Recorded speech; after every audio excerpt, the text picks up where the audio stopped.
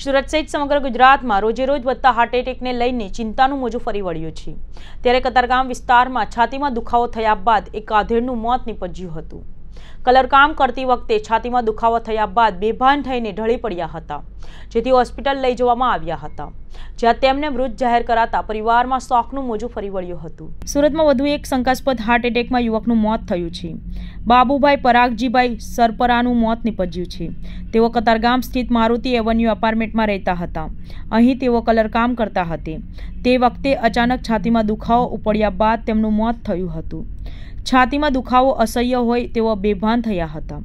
ત્યારબાદ સાથી કારીગરો એકસો આઠ મારફતે પીપી સવાણી હોસ્પિટલ લઈ આવ્યા હતા, જ્યાં ફરજ પરના હાજર તબીબોએ તેમને મૃત જાહેર કર્યું હતું. મૃતદેહને પીએમ હર્થે હોસ્પિટલ ખસેડવામાં આવ્યો છે. મોતનું સાચું કારણ પીએમ રિપોર્ટ આવ્યા બાદ સામે આવશે તેમ તબીબો દ્વારા જાણવામાં આવ્યું હતું.